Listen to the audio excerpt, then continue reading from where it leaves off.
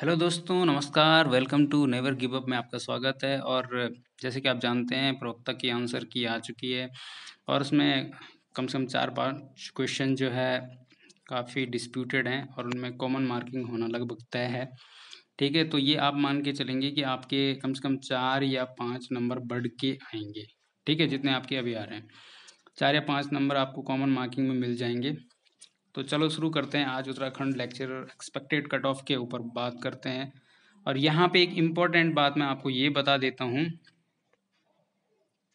तो मैंने इससे पहले भी एक वीडियो डाली है और आप लोग में से बहुत सारे लोग इसमें सहमत नहीं थे कि सर आपने गलत बताई है और आपका जो एक्सपेक्टेशन है वो गलत है। तो ऐसा कुछ नहीं है। देखो, मैंने बहुत सारे लोगों से संपर्क किया है जिन्होंने पेपर दिया है और एक ओपिनियन पोल भी आपका किया है इसमें अपने चैनल के माध्यम से और ऐसा नहीं है, पढ़ने वाले लोग ऐसे भी हैं जिनके हंड्रेड प्लस मार्क्स भी हैं, ठीक है? तो उसके बेस पे अब आप खुद ही यहाँ पे देख लीजिए जो ओपिनियन पोल है, उसमें आपका ओपिनियन पोल और एग्जिट पोल जो है उसमें अब मैं ये नहीं बोल सकता हूँ गारंटी तो नहीं देता हूँ कि सही रहेगा, लेकिन जो भी लोगों ने अपने जो ओपिनियंस दिए हैं और एग्जिट पोल मतलब जितने भी उनके नंबर हैं उसके आधार पे एनालिसिस कर रहा हूँ। आप खुद ही उसके अनुसार कैलकुलेट कर लीजिए कि कितना बन रहा है, ठीक है? तो उसमें हम डिटेल में समझने की कोशिश करेंगे। मेरा कोई ऐसा इंटेंशन नहीं है, आपको डिमोरलाइज करने का कोई इंटेंशन नहीं है।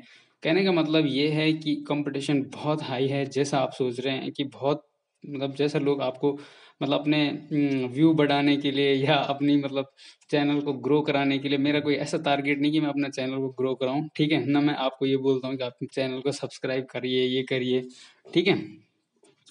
मेरा कहने का मतलब ये है कि आपको सही जानकारी दी जाए ठीक है? As far as I I can give जहाँ तक मैं दे सकता हूँ, वहाँ तक आपको सही जानकारी दूँ। तो ये आपकी जो आंसर की है वो आपको पता है, आ गई है और ओपिनियन पोल एग्जिट पोल जो आपका बहुत सारे लोगों से बात के माध्यम से, कोचिंग इंस्टीट्यूट से बात के बाद और उससे अधिक कि आपने जो अपने वोट्स दिए हैं उसमें भी हम डिस्कस करेंगे।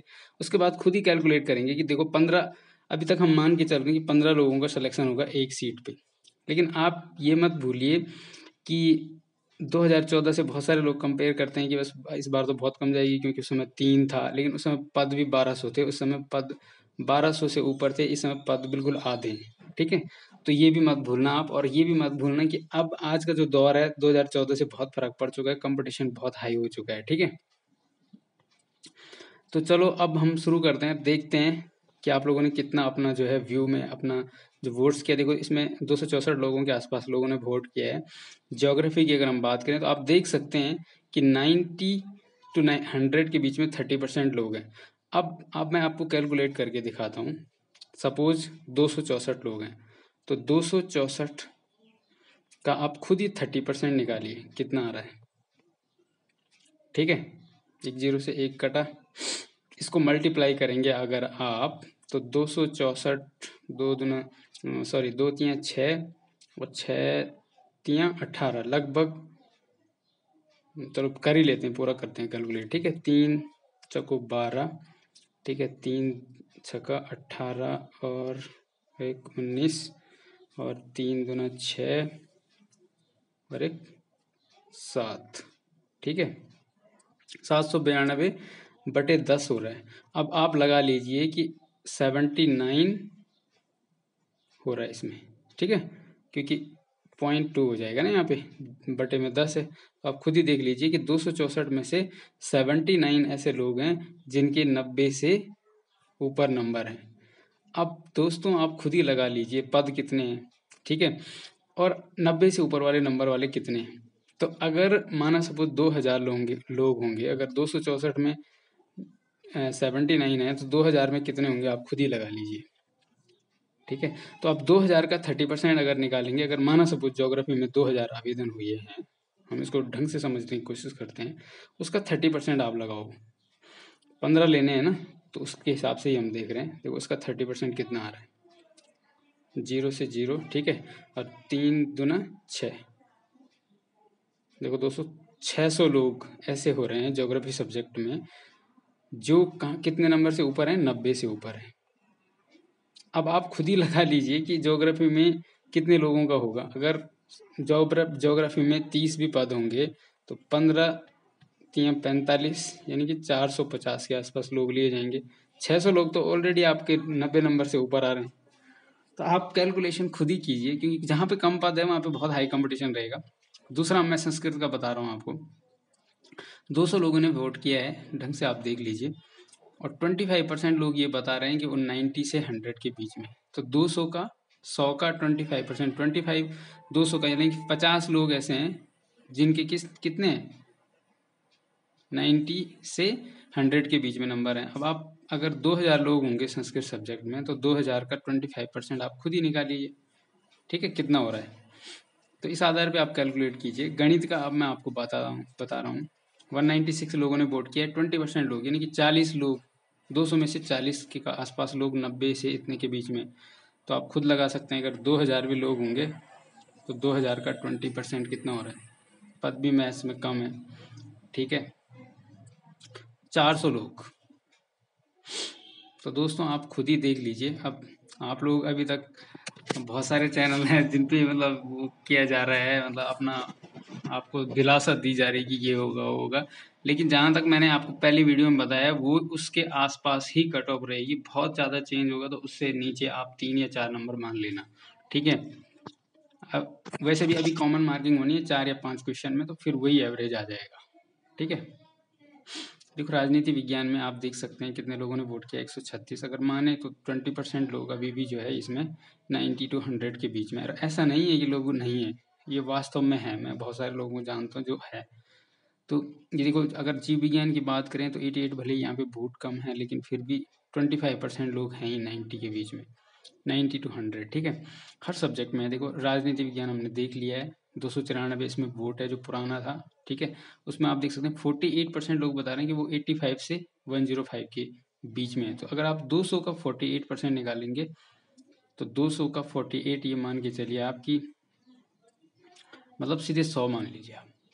दो सौ में से सौ लोग ठीक है ना? और अगर दो हज़ार होंगे तो आप खुद ही कैलकुलेट करिए कितने ज़्यादा हो रहे हैं, ठीक है? नेक्स्ट सब्जेक्ट है आपका जीव विज्ञान, ये पुराना वाला है, दो सौ सड़सठ पोल यहाँ पे हुआ था, नब्बे से एक सौ पाँच के बीच में, फिर से आप देख सकते हैं अड़तालीस परसेंट लोग हैं। इकोनॉमिक्स में आप देख सकते हैं फोर्टी एट परसेंट लोग एट्टी फाइव टू हंड्रेड के बीच में है, भले ही दो सौ नवासी वोट मिले हैं लेकिन इसी के आधार पे होता है, ये एक आधार होता है इस चीज़ का कैलकुलेट करने का। आप एक केमिस्ट्री में देख सकते हैं एटी फाइव से इसके बीच में, ठीक है? वैसे फिजिक्स में आप देख सकते हैं, नब्बे से सौ के, एक सौ दस के बीच में थर्टी सेवन परसेंट लोग हैं टोटल वन थर्टी नाइन ने वोट किया है। इंग्लिश में आप देख सकते हैं, दो सौ में से दो सौ लोगों ने वोट किया है, लेकिन आप देख सकते हैं नब्बे से एक सौ दस के बीच में थर्टी सिक्स परसेंट है। तो आप खुद ही लगा लीजिए कि दो सौ का जब सौ का थर्टी सिक्स परसेंट छत्तीस होता है तो दो सौ का छत्तीस गुना बहत्तर लोग दो सौ में से हैं तो इंग्लिश सब्जेक्ट में कितने लोग हैं? कितने लोगों ने आवेदन किया है? आप जानते ही हैं इंग्लिश सब्जेक्ट में कितने लोगों ने आवेदन किया है? लगभग मेरे ख्याल से हाईएस्ट में इंग्लिश सब्जेक्ट ही है। तो सबसे टॉप में कौन सब सब्जेक्ट है? इंग्लिश है। ठीक है, जिसमें आवेदन किए गए आठ हज़ार लोग हैं, माना सपोज़ आठ हज़ार लोग हैं। तो आठ हज़ार का आप कितना परसेंट था? थर्टी सिक्स परसेंट निकालिए। Thirty six percent. तो आप खुद ही लगा लीजिए दोस्तों कि आठ तिया चौबीस, या तीन हज़ार लोग ऐसे हो रहे हैं जो एट्टी फाइव के आसपास नंबर ला रहे हैं, तीन हज़ार। और लेने उन्होंने हैं हज़ार के आसपास।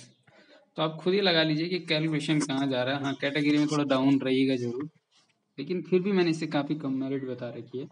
मैंने इंग्लिश में सेवेंटी एट सेवेंटी सेवन के आसपास जनरल के लिए बताई थी और ओबीसी के लिए सेवेंटी फाइव सेवेंटी फोर ठीक है ई डब्ल्यू एस के लिए भी seventy two seventy three S और एस टी के लिए वही सिक्सटी नाइन सेवेंटी के आसपास रहेगी।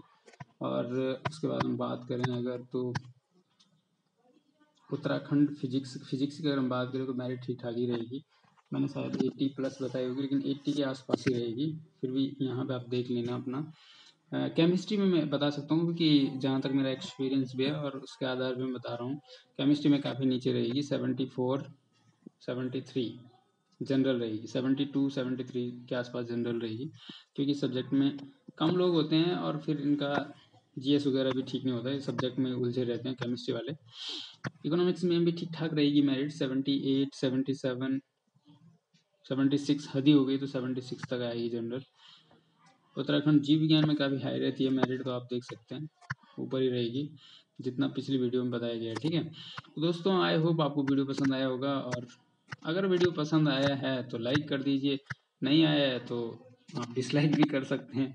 और ऐसा तो मेरा है नहीं कि मैं आपको डिमोरलाइज कर रहा हूँ। आपको केवल ये बताना चाह रहा हूँ कि इतने लोग जब इसमें आ रहे हैं तो आप खुद ही कैलकुलेट कर लीजिए कि कितना परसेंट चांसेस हैं मेरिट कितने तक जाने की, ठीक है? तो थैंक यू फॉर वॉचिंग